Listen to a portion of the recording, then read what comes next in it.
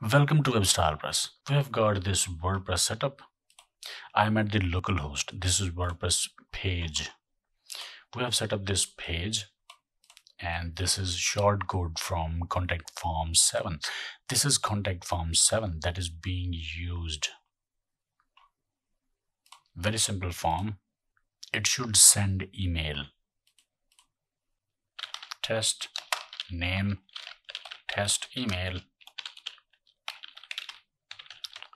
and then test subject test message and submit ah there's an error okay so I do a lot of PHP and WordPress based work on localhost and then migrate to live. If I have to check email, I have to migrate code to live again and again to just check if email is working properly. This is a time waste. To it, our localhost should send emails. To send emails from localhost or XAMPP, we will have to configure XAMPP. We have to configure XAMPP to send email via SMTP. We use Gmail Gmail SMTP to send emails via XAMPP because Gmail is powerful and flexible. Basically, create a separate Gmail account to only use SMTP because we will have to use a real email address and password for Gmail account in XAMPP settings. Now we will configure our XAMPP so that we can send this email from localhost and from WordPress without needing a live server. Okay, so go to XAMPP I have installed XAMPP in my E drive. It's not in my C drive. Okay, from XAMPP, search for PHP folder. In PHP folder, search for php.ini. Open it in editor, code editor, and then search for SMTP. Edit SMTP settings.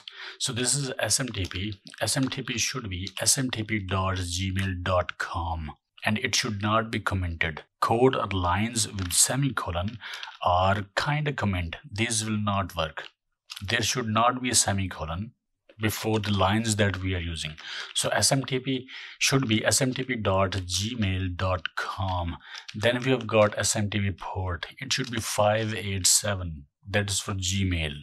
Then we have got send email from this should be your email address real gmail address.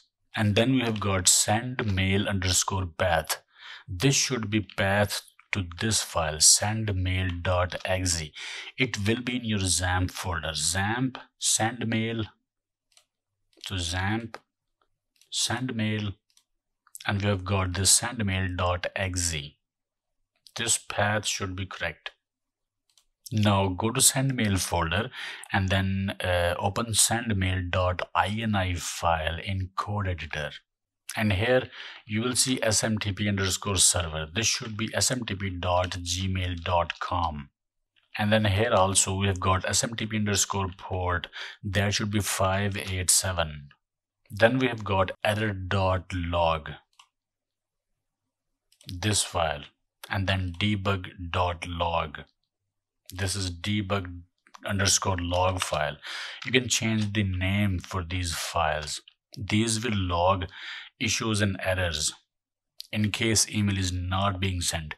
Very helpful in debugging. Next we have got auth underscore username. This should be your gmail username or email address.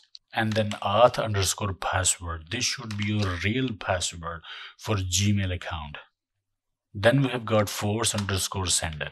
You can use your email address that that you will use here. But this is optional. This is not necessary. So i will not use it. And that's it. Change these settings and save these files. And that's it XAMPP should be able to use your Gmail account to send email from localhost. When I used it at first time, it didn't work. For security reasons, Gmail will reject this configuration. There is another step involved. This is our Gmail account and this is Google. We are logged into our Gmail account. Turn on less secure app access from Google account settings. Let me say it again Google account settings and not Gmail account settings. While you're logged into Google or Gmail account, go to Google, click at this icon. Click at manage your Google account. Go to security tab and then scroll down. Find this less secure app access, turn it on. Now email will be sent successfully. Let's try this by using WordPress. So this is our form. Let's refresh it now. I have configured XAMPP and I have used correct email and password there for my Gmail account. So uh, here is the name. Let's use WSP email test WSP at the rate of server.com. This is random email. It doesn't exist by the way. Subject this is test subject. This is test message. So now let's submit this email. And as you can see thank you for message. It has been sent. Gmail refresh. And we have got this email. This is test subject from WSP test WSP at the rate of server.com subject this is test subject and this is test message so we received this email successfully and we submitted this form uh, from WordPress by using localhost and by using XAMPP. And if email is not being sent, go to send mail folder in XAMPP. Check for text files having a name starting with crash. Do you see these text files named as crash1, crash2 and so on? These files will give you a clue about why email is not being sent username and password not accepted. Also check error.log file located here in sendmail folder.